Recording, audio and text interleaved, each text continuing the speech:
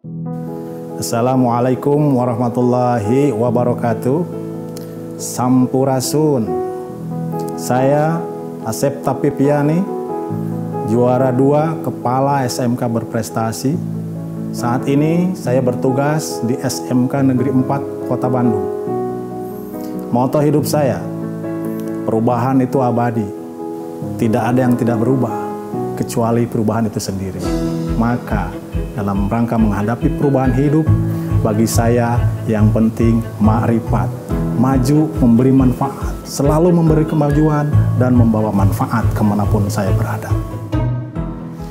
Salam juara lahir batin.